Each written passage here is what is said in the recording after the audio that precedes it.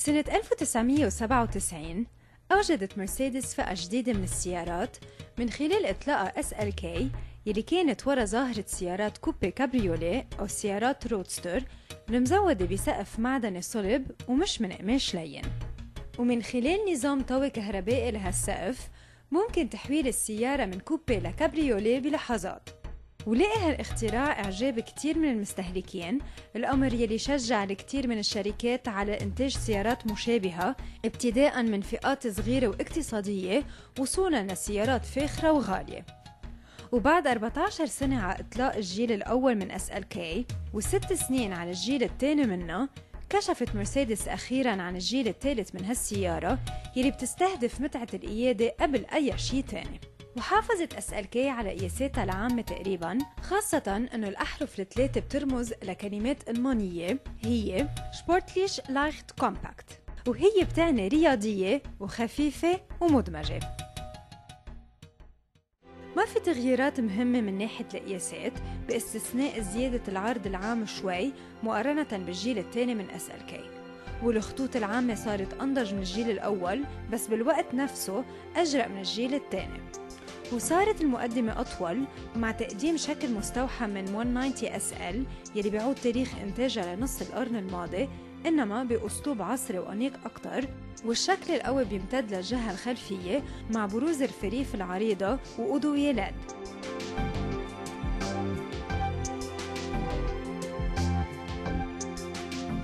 والأناقة الجانبية بتشمل الدوليب وفتحات التهوئة بالفريف الأمامية والإشارات بالمرايات الجانبية وال diffuser الجانب السفلي ومثل العادة تميز SLK ضمن سيارات مرسيدس بيشمل أكيد ال hard top القابل للطوي بتحكم كهربائي ب 20 ثانية وهال duration متوسطة بفئتها فهي ولا بطيئة ولا سريعة.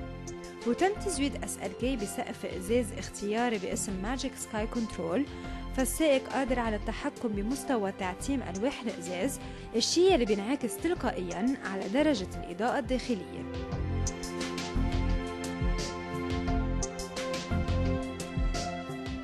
بالنسبة للمقصورة فهي بتقوم على platform بطول 243 سنتيمتر وهي بالتالي منا طويلة بس كافية لتأمين رحابة الجلوس للسائق وللراكب حده. والجيل الثالث من SLK استفاد من تحسينات واضحة من ناحية الفخامة من خلال تحسين نوعية المواد المستخدمة بالتصنيع ومن خلال عناية أكبر بالتجميع النهائي. وتعتبر المقاعد مريحة كتير وفيها تكون من جلد nappa علما أنه وضعية الجلوس منخفضة ومجال رؤية السائق منا متفوقة من جهة تانية بيبرز نظام Airscarf يلي بيأمن تدفق الهواء الساخن على رقبة ال driver وال passenger بحال SLK مكشوفة بطقس بارد. من ناحية تانية وبالنسبة للتغييرات يلي بتأثر على طبيعة الأداء على الطريق صار body مرسيدس SLK dynamic أكثر من قبل بالتزامن مع إمكانية اختيار suspension بتحكم إلكتروني لتفعيل التوازن العام. وال suspension الإلكترونية الإضافية بتعزز الثبات والتماسك من خلال تبديل القساوة ومدى تموج السيارة.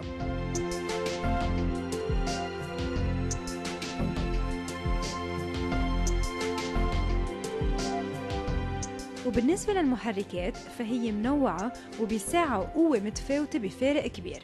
والمحرك الأصغر معتمد ب SLK 200 وهو سعة 1.8 لتر بطاقة 184 حصان. وبالفئة SLK 250 تستفيد من نفس المحرك يلي بيتكون من أربع أسطوانات بس مع تيربو فعال سمح برفع الطاقة الحصانية القصوى ل 204 أحصنة. وليلي بده قوة أكتر الفئة SLK 350 هي الخيار المناسب فهي مزودة بمحرك V6 سعة 3.5 لتر بطاقة 306 أحصنة. من جهة تانية بتبرز ال automatic gearbox يلي بتتكون من سبع نسب أمامية فبتساعد المحركات على خفض معدلات استهلاك البنزين. وتزودت هال gearbox بثلاث برامج متطورة حسب الحاجة والرغبة.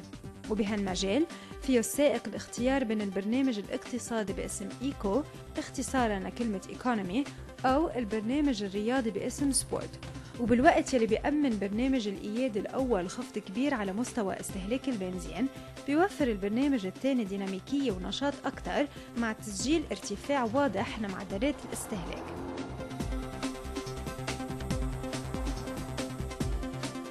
ومن ناحية الأداء ممكن التسارع ب SLK المزودة بمحرك V6 من الصفر لل 100 كم بالساعة خلال 5.6 ثواني.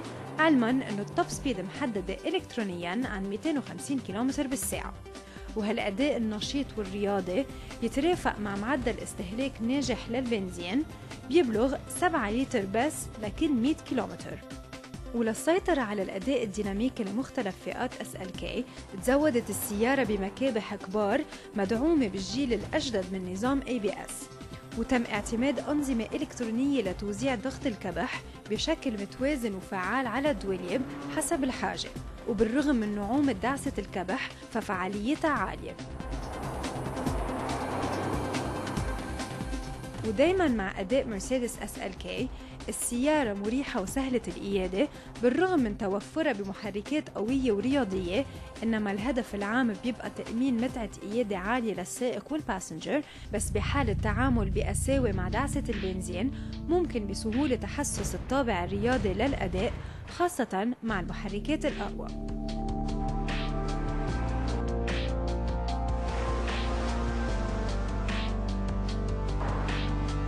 SLK مزودة بنظام ESP جديد بيشتغل الكترونيا على ضبط التماسك وبيقوم عند الضرورة بكبح العجلة الخلفية الداخلية للسيارة حسب الكوع بهدف تأمين التفاف سلس خلال القيادة السريعة.